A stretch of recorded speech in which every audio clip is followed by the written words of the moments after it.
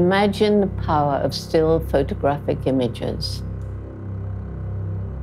Moments frozen in time that can change the way we perceive our place in the world.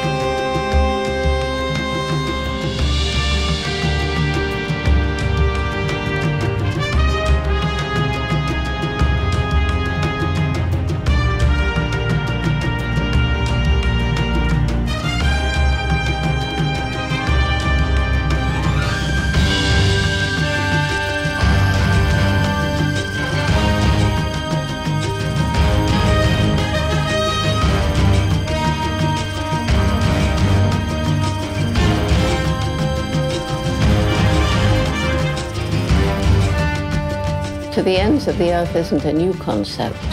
It began when people first started looking beyond the next ridge, the next valley, to the lands beyond the mountains. They searched for the unknown, the unexpected, the surprising, to map, catalogue, and show to others.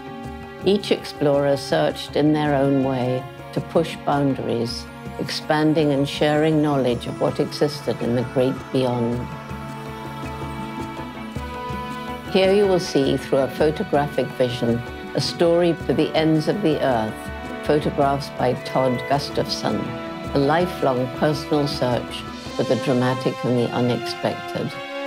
Traveling the world for decades, capturing intimate natural history moments and dramatic wildlife action, Todd has brought to the viewer images from East Africa, Brazil, Namibia, Patagonia, Rwanda, the Galapagos Islands, India, Costa Rica, Madagascar, and the ocean realm, revealing common threads that exist between humanity and the natural world that forever bind our fates together.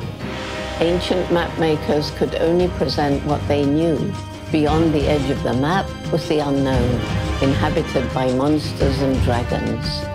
Todd still pursues dragons in his personal search for the ends of the earth.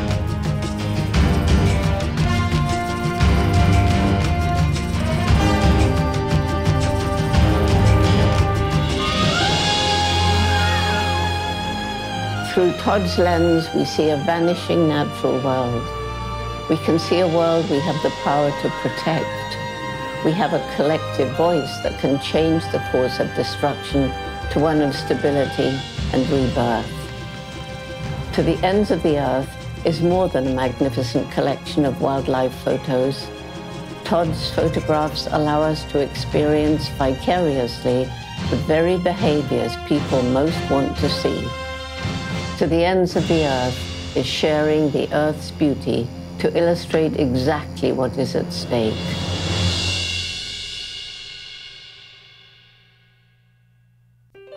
Over the last 30 years, I've had the pleasure of sharing East Africa by escorting over a thousand photographers, helping them achieve their photographic goals at the ends of the earth. I feel an important element to my success was growing up in Tanzania, East Africa. Mom and dad came here as missionaries, and I was a young child, so I grew up a mission kid here in Tanzania for four years. I had a brother and a sister, and mom and dad, and we lived in the Usambara Mountains in Tanzania. Running a school was tough business for dad, and we went out on safari, I think only once or twice. But he had some really pretty pictures, some lions that I remember, and going to the Ngorongoro crater, coming here to Lake Manyara was terrific.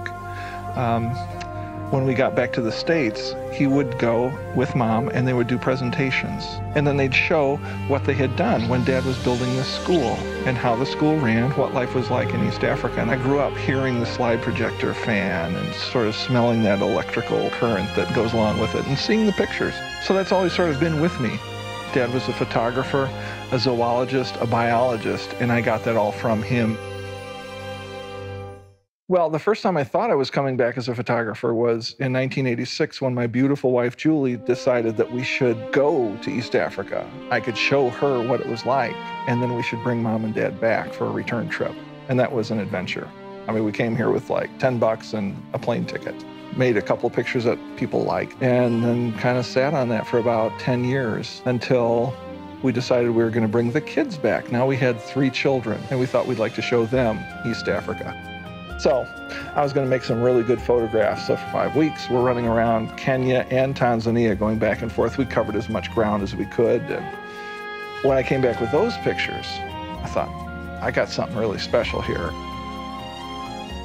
Understanding the seasons and how they affect animal behaviors is a great advantage to a wildlife photographer. In February, you will inevitably find me in Tanzania photographing the story of the Great Migration's birthing season. The short rains have come to the southern Serengeti, signaling the arrival of the great migration of wildebeest, zebras, and gazelles. 2.5 million animals are drawn here by the nutrient-rich short grass plains for the birthing season. Tender, nutritious grasses trigger massive numbers of births. Food is plentiful and predators can easily provide for new cubs. These events weave the tapestry that is the backdrop the foundation of the East African wildlife natural history that is so intriguing to chronicle and share through photographs. The mother wildebeest waits for the right time to deliver. Have the rains been good? Are there predators near? Are there other babies being born? She can wait for two weeks for the right conditions.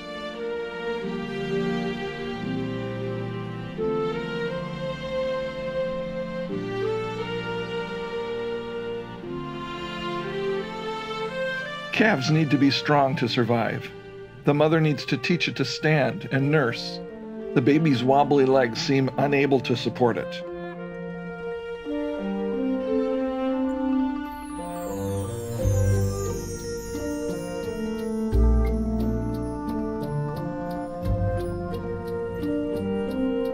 It needs to learn to run so it can join the herd.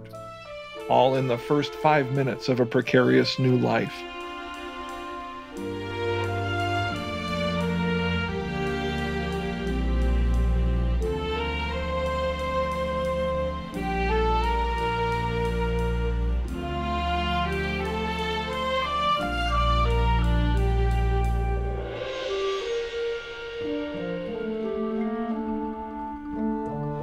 Seasons change.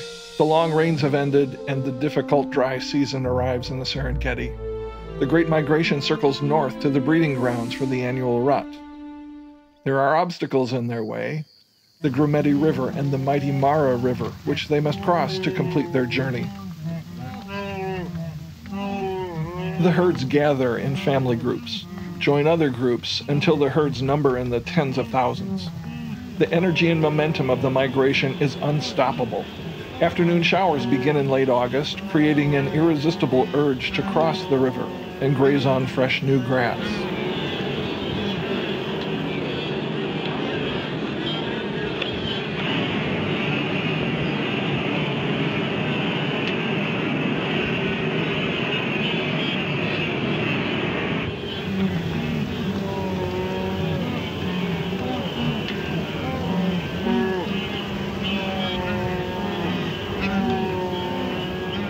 There are dangers in a river crossing drowning, broken legs, and huge crocodiles confront the wildebeest.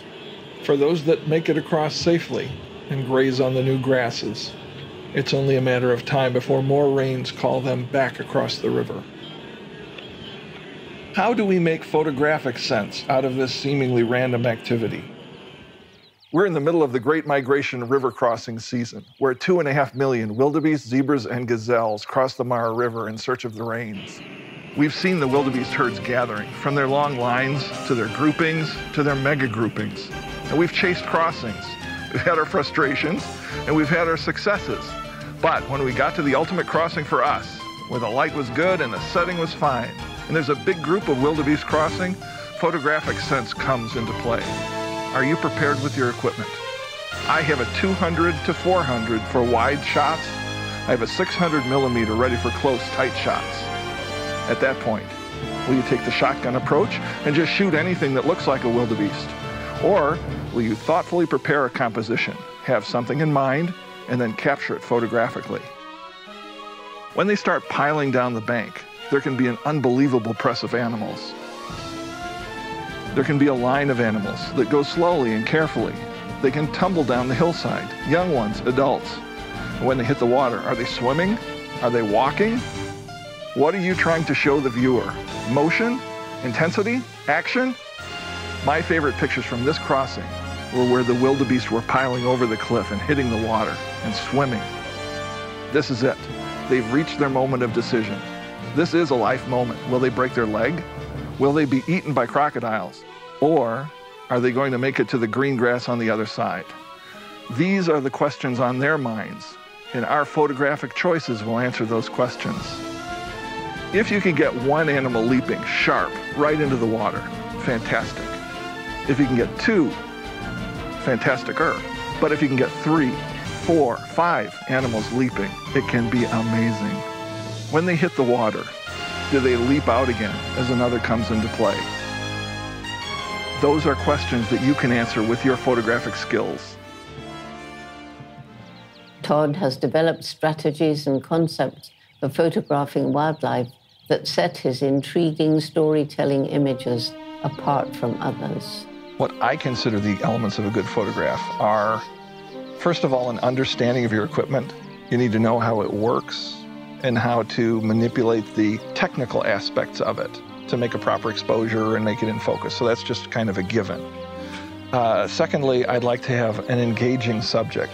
And I don't care if it's a mouse, a bird, a reptile, whatever it's going to be. I want it to be an engaging subject in a cool setting. So if it's a clean background or if it's a nice branch or if it's golden light on a meadow, any of those that would be a good setting. Then if you have your subject in a good setting, I'd like the light to be great. And by great, I don't mean it has to be bright light. If it's during the day, I'd prefer clouds. If it's early in the morning, I'd prefer golden, soft light. Same in the afternoon. So the quality of light, I'd like that to be good. And then I would like to be in the best position for the angle of light to capture that animal doing something great. If it's giraffes, I'd like to have them necking. Or if they're elephants, I'd like their ears out. I want to see both tusks. If it's a lion, a growl, a roar, a yawn, greeting behavior is great. So capturing the action of a great subject in a great situation, in great light, and executing flawlessly. I like cats. And I, and I know it's baby trite to say I love photographing lions that are active. I couldn't care less about sleeping lions. Active lions are intriguing, the social behaviors and, and interactive things that they do. I love cheetahs. They're powerful, they're fast, they're, they're, there's an elegance about them. Their habits are very interesting. Uh, but my favorite's a leopard. Maybe because it's the most challenging, they're the most elusive, they're solitary. Um, they hang out in trees and deep shrubbery and they come out at dusk and it's a search. Did I mention the serval cat? Man, oh man, that's a cat that for 20 years I've tried to get. And this was the year for the serval cat. We had a really, really good serval cat who was hunting close to the van. And then when it went out in the meadow, it was in short grass and it would look and it would pounce. It was, just a terrific thing. I like the cats. Photography is really about storytelling. What does that image tell you about the subject of the photograph? What I want to do, I think, is engage the viewer in what might be called the human condition in nature. If you have two lions and they're they're fighting over a kill, you can obviously sense the anger and the power and the aggression there. Same family might have two females who have just come across the meadow and are greeting each other. And it looks like they're hugging and kissing, which they are.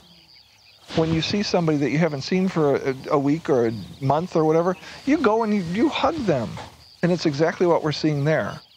You can see a lion cub who's looking at the mother and saying, you know, Dad was mean to me when he gave him a backhand and sent him sprawling, and there's that connection here. What is it that makes a photograph or a series of photographs resonate with the viewer? Knowing the subject of the photograph and the possible stories each of them has to tell is crucial. The one that comes to my mind above all others is uh, when you're at Lake Nakuru, there are four million flamingos there at the right time of year. And during that time, hyenas will hunt the flamingos. I've heard of it and I've seen it at a distance. And last October, we were point blank with hyenas that were just charging through the water, and the flamingos were flying by the thousands, thousands, clouds of them. And we were paralleling these hunting predators. They're not scavengers, they're predators and they're going in to find a flamingo who isn't quite going to make it, who's injured maybe, or slower, or the whole natural selection thing. And as we're paralleling, you could see that flamingo is weaker than the others and not as fast. And you could tell this is a life moment, right here, right now. And the hyena took it by the neck, and it was done. And it was right in front of it. And it, it was so fast and so dramatic and intense that it takes your breath away. And you can say the same thing about the birth of a new wildebeest or the birth of a Grant's gazelle. There's a baby, there's a mother. And when we turned the corner, the baby was maybe just hit the ground as a newborn. And the mother nudged it up and got it on its spindly legs. And, and this baby went to nurse with the mother. And the, the mother was so proud. It was a very, it was the human condition. I'm a new mother. This is my child. And in three minutes, the baby could bound across the road and on the gangly legs like this. At that moment, you could hear that there were hyena coming. And the mother could hear it, and she got so nervous and she ran toward the hyenas. And the hyenas ignored her and went right for the baby. And in within the scope of seven minutes from being born to being in the mouth of this hyena, that was a life moment. And nobody could talk for an hour. No one could even, he couldn't even discuss it. It was so intense. So that's a life moment. My thought process is that I have a subject and I'm pretty aware of the capabilities of that subject. I know what it's likely to do, and I know what I want it to do within those likelihoods. I can see where I'd like him to do it, and I know where I'd like to be when he does it. So I can tell the driver, go there, stop, because I'd like the animal to keep moving there.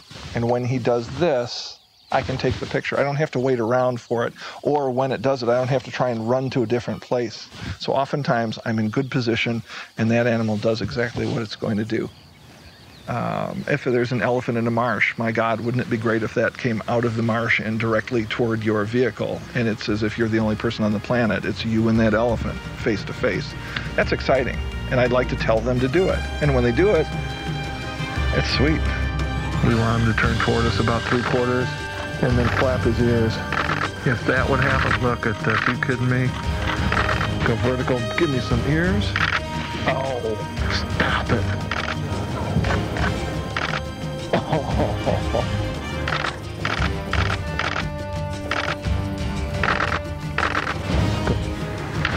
I'm going to a different lens because this guy is huge.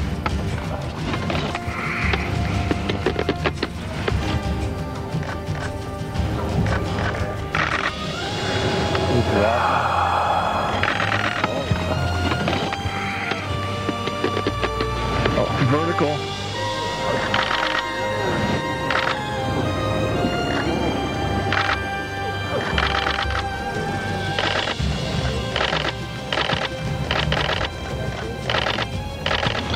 He walks off into the sunset, I'm going to tell you that that for me was a heart-stopping chance at one of the most dramatic animals in this crater, the bull elephant with the huge tusks. He was point blank coming out of the marsh. There's nothing that you could get that's more exciting than that, and I think we executed.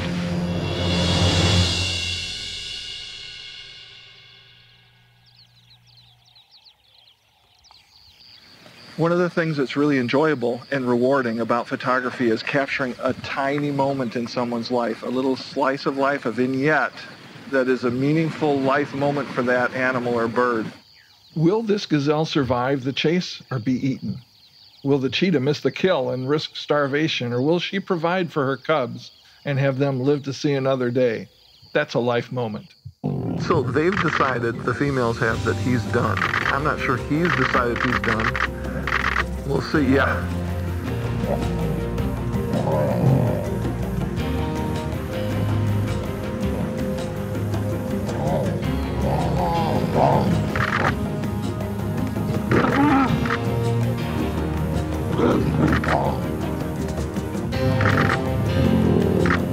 And he's saying, I will tell you when I'm done.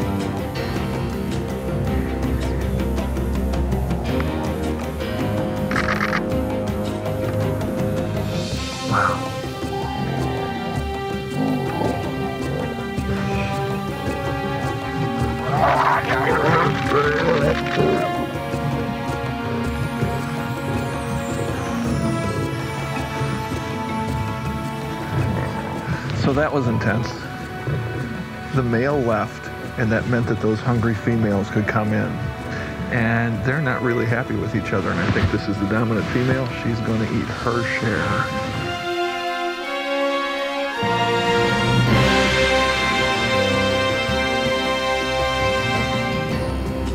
Just as important to me is capturing the human condition. It's the fabric of life, the things that we have in common with the natural world that bind our fates together. It's love, play, humor, courtship, conflict. It's everything.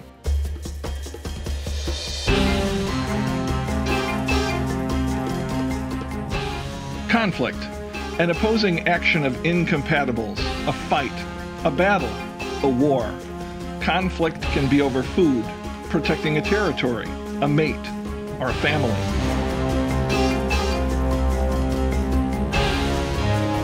Being in position with the equipment and the skill to capture moments of wildlife action is a high goal in nature photography.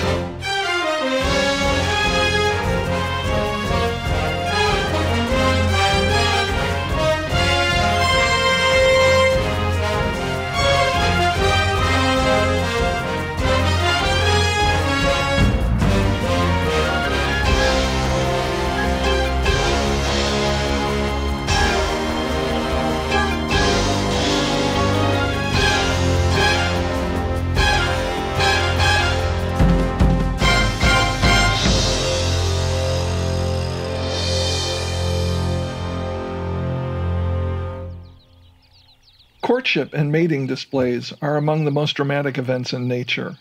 Being in the right place at the right moment is the key to successfully capturing the story. Listen to the male kori bustard call for a mate.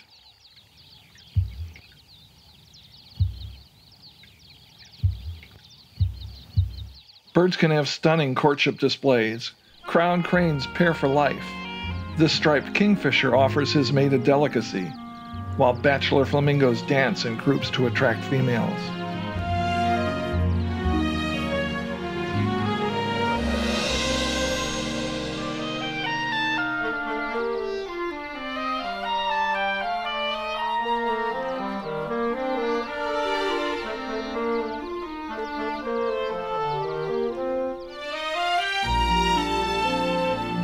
Lions have a complex courtship that lasts a week as they ignore all else.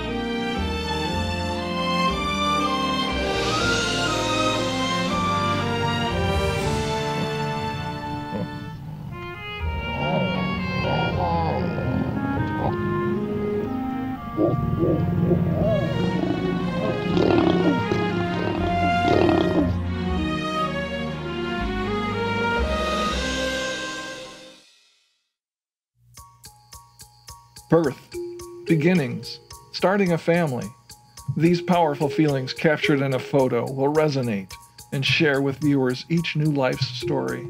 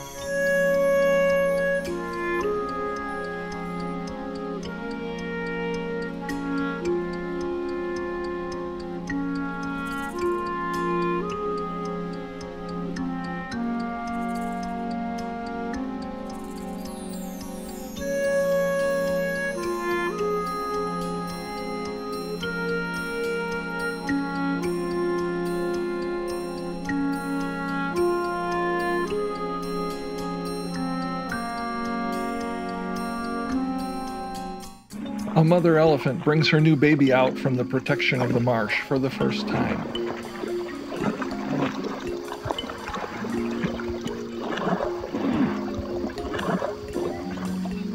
She looks to see if there's danger nearby. A younger female leads the way with the baby safe between the two. The baby has trouble getting through one of the deeper pools and reaches for the mother's trunk for support. Watch as she pushes away the aunt's attempted embrace.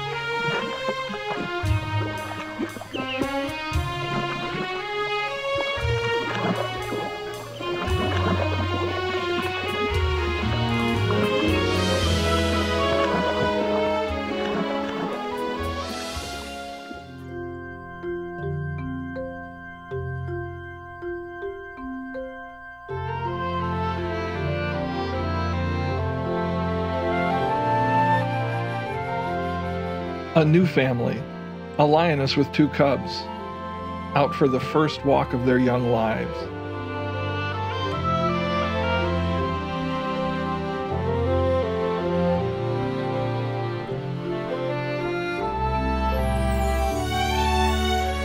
The mother takes them to the edge of the clearing, and when the grass becomes too deep, she gently takes each in her powerful jaws and returns them to the safety of the den.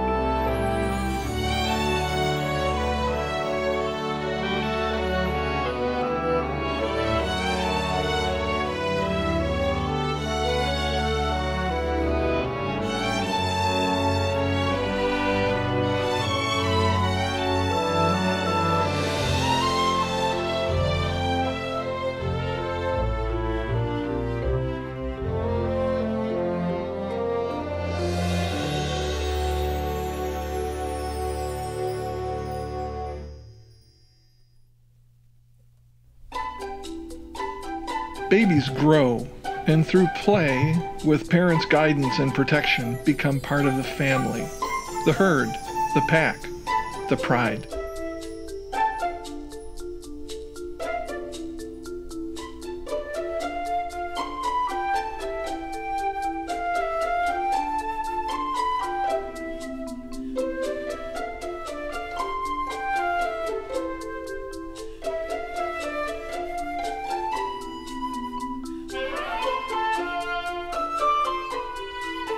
Young lions spar with each other and play fight with mom, practicing the techniques that will make them successful hunters.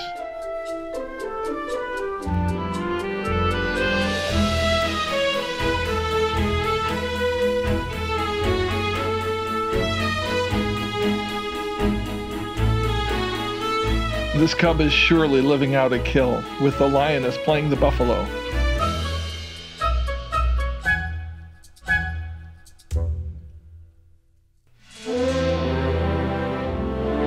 Male lion's role in the pride is to protect them. They rest in the bush until they're needed.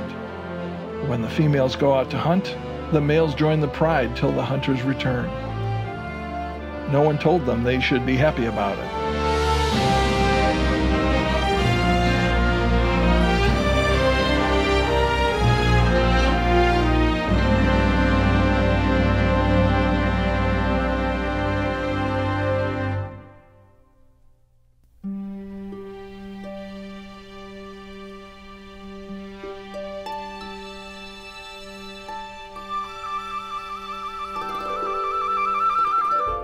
Cubs grow and play becomes training. Each cub learns what it takes to provide food for themselves and family.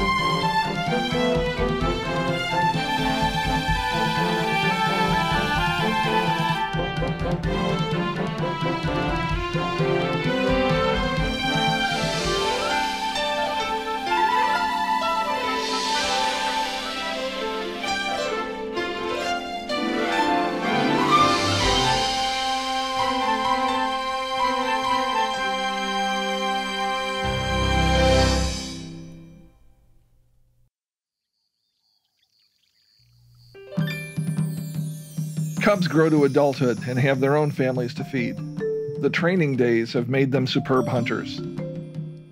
Lions use sight, speed, ambush, and often cooperative hunting. Leopards have keen sight and are masters of ambush. Predators have extraordinary eyesight and can see prospective prey miles away.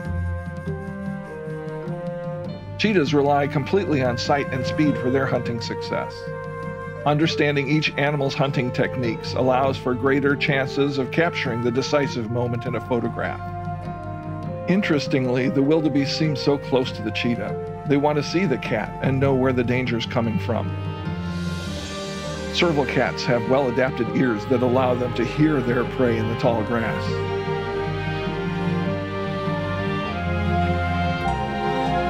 A well-timed series of pounces are all they need to secure a meal.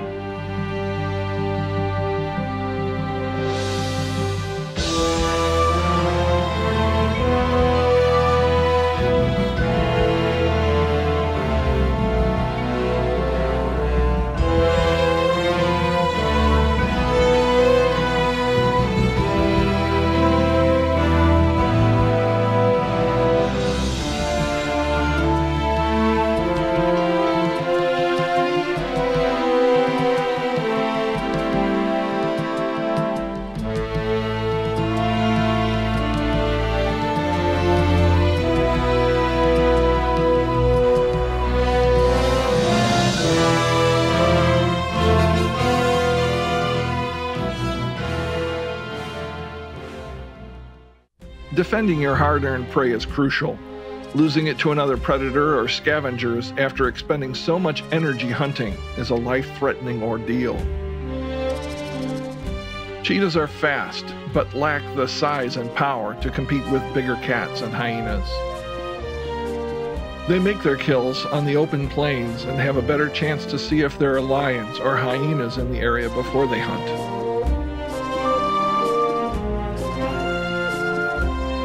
Knowing that cheetahs must have a successful hunt every day or two can put a dedicated photographer in good position to catch the action.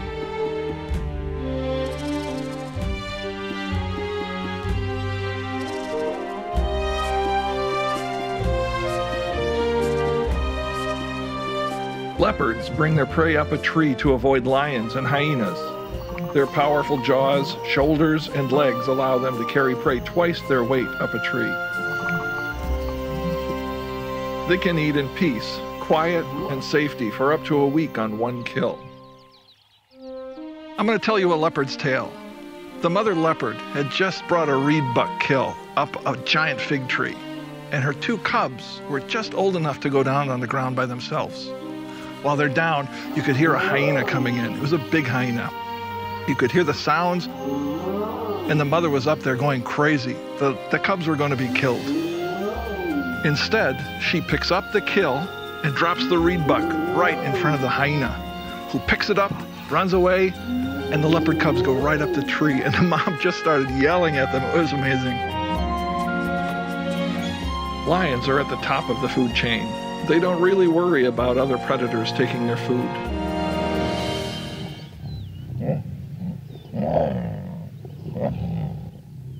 Feeding can be oh. intense as everyone tries to get their share before the food is gone.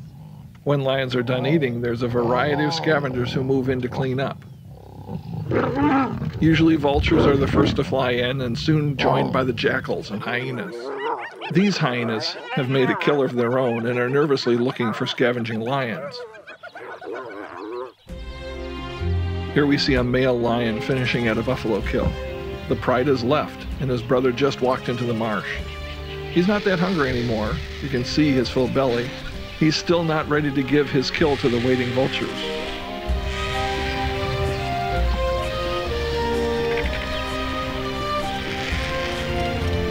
As they move in, the lion charges again and again until he tires of the game and joins his brother in the marsh.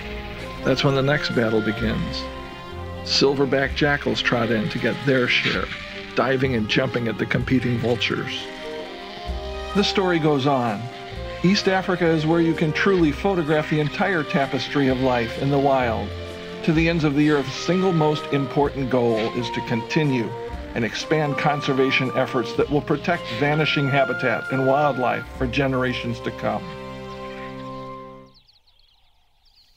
Commonalities are intriguing. We all go through the physical process of living our lives. We eat, drink, walk, run in our own unique ways. The adaptations of different species are fascinating. An elephant's trunk has over 40,000 muscles in it.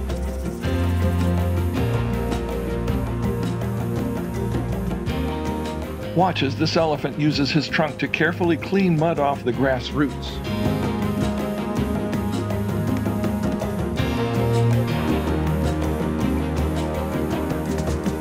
Sharp acacia thorns? No problem.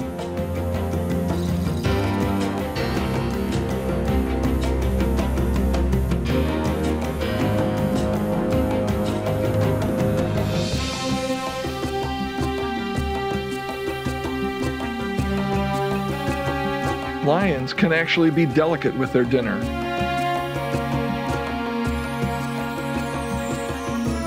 A giraffe's tongue can be as long as 20 inches, and their amazing neck has only seven vertebrae, the same number as humans.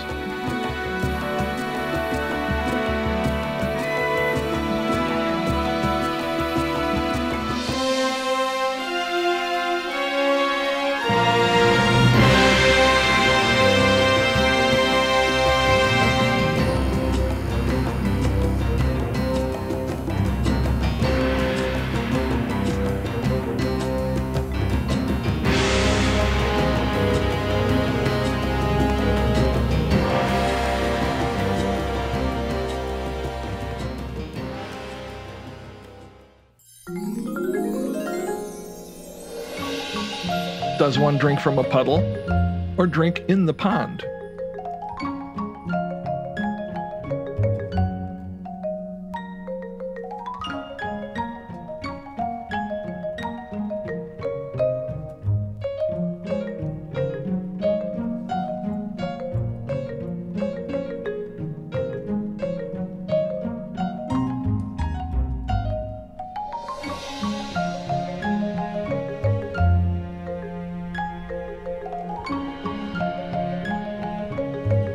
Don't drink water at all. They've adapted to their arid environment and get all of their water from fresh leaves.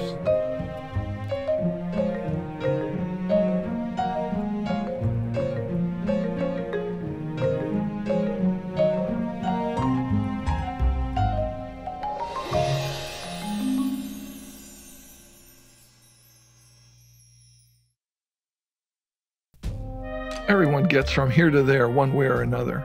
Some walk, some glide, slither, or fly. Again, it's the differences in stride, gait, speed that make it all so interesting.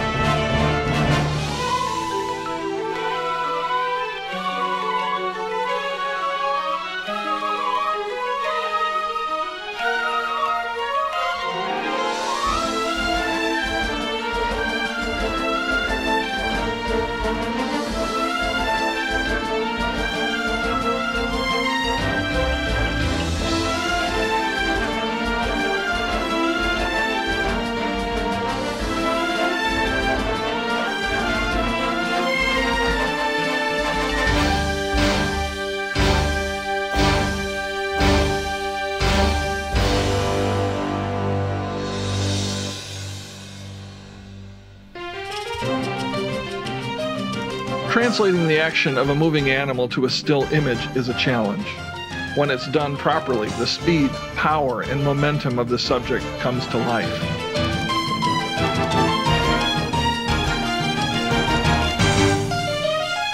Still images from a continuous rapid burst can reflect a unique story of movement.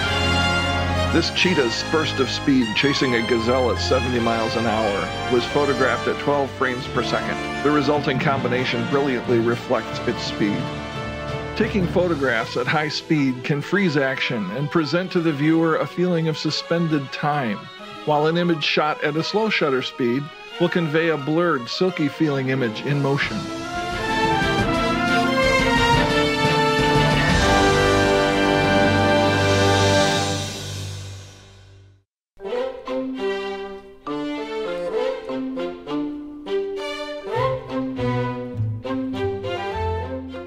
Sometimes a photographic situation is cute, funny, or just makes you smile.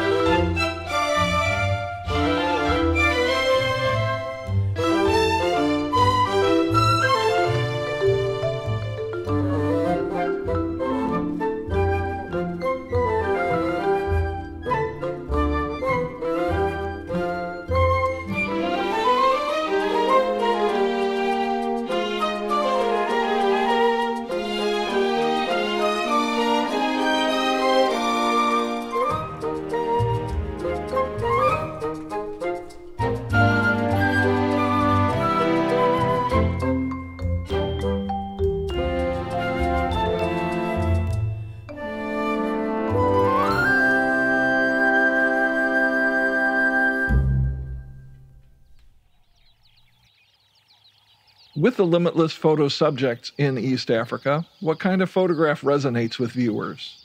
Some people might like a portrait. I love primate portraits, man.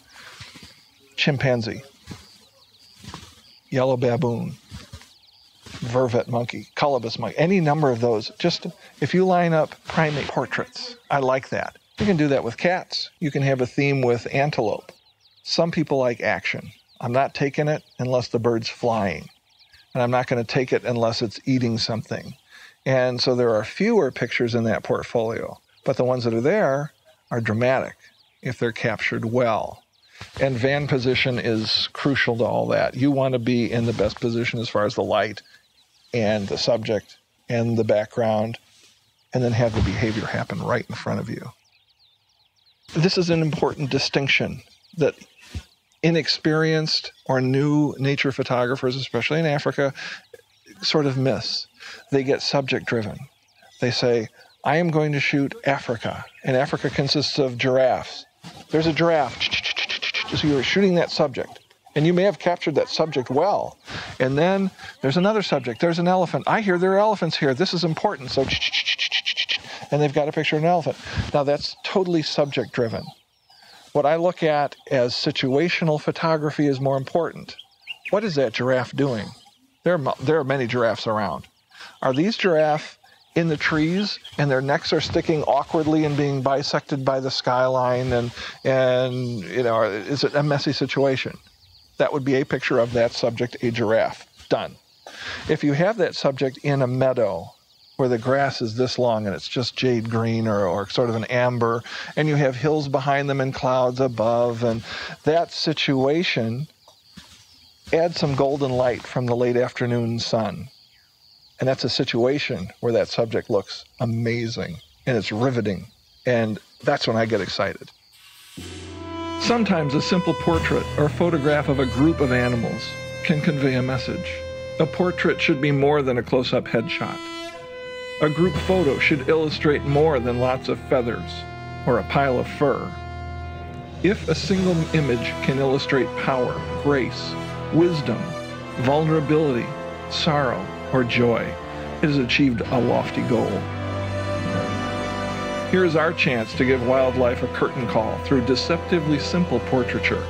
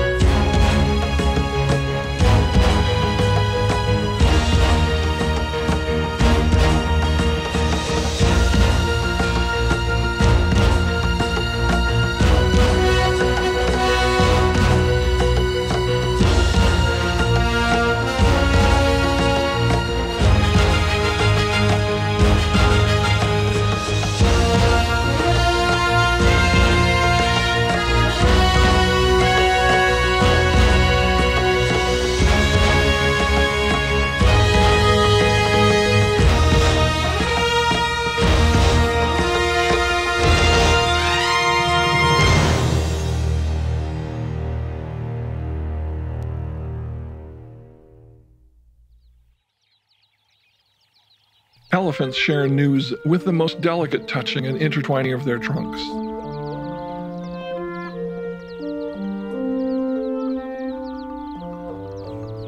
African hunting dogs bound and play until an unseen message signals the hunt. A lion's powerful roar calls the pride.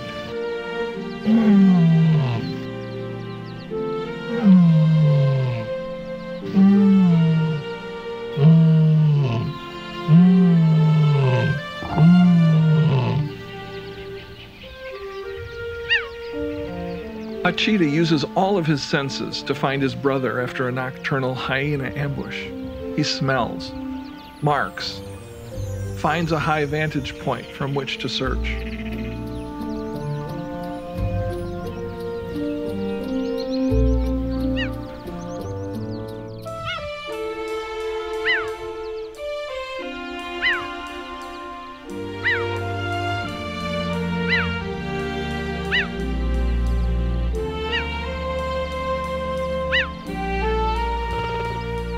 His plaintive calls and chirps are finally answered, and the brothers reconnect.